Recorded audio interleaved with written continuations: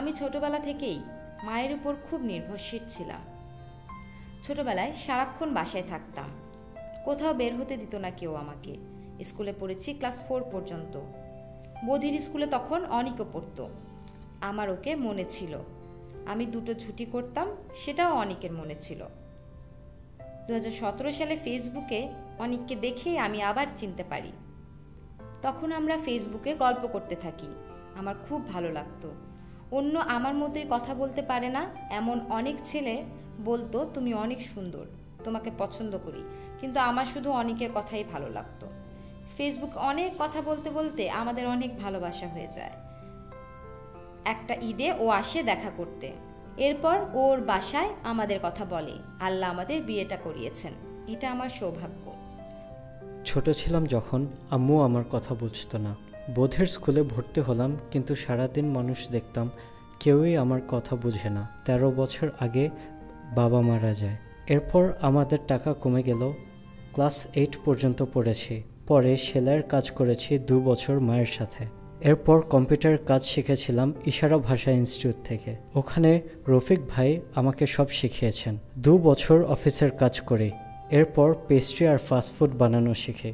ছ মাস হলো আমি এঞ্জেল শেফ পেস্ট্রি শপে কাজ করছি। আর বিয়ের পর আমার সবচেয়ে ভালো লাগে অনিক আমাকে ঘুরতে নিয়ে যায়, যেখানে কোনো বাজে গন্ধ নাই, সেসব জায়গায় ও নিয়ে যায়, ছবি তুলে দেয়। অন্ধদের যেমন হাত ধরে নিয়ে যায়, তেমন আমাকেও ও হাত ধরে নিয়ে ঘুরে। অনেক বিয়ের আগে অনেক শুকনা ছিল, গোসল করতো না। পরে আমি বেশি করে খাইয়ে স্বাস্থ্য বানিয়েছি। গোসল করিয়ে ফর্সা বানিয়েছি, ও আমার জন্য আল্লাহর গিফট। আমরা দুজনে খুব সুখী। আমার এই জীবনটা আমার প্রিয়।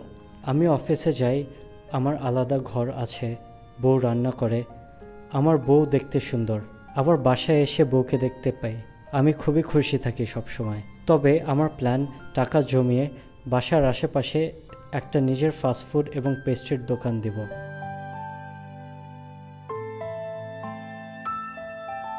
আমাদের ভবিষ্যৎ পরিকল্পনা আছে। তিন চার বছর পর বাবু নিব। কিন্তু টাকা পয়সা হলে সুন্দর একটা ঘর হলে আমি ঘরে বসে সেলাইয়ের কাজ করব।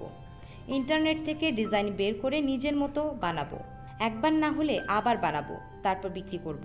অনেক টাকা হবে, এরপর ঘর সুন্দর করে সাজাবো আমরা যেসব কাজ করতে পারি সেসব দিয়ে ভালো কোনো কাজের ব্যবস্থা করা হোক এবং অন্যদের মতো সমান অর্থ আয় করতে চাই। অন্যদের তুলনায় একই কাজে আমাদের আয় কম এবং কাজ বেশি দেওয়া হয়। সেই ক্ষেত্রে আমরা সমতা চাই, আর চাই আমাদের কর্মস্থানের সংখ্যা যেন বাড়ে, কারও বোঝা হয়ে থাকতে না হয়।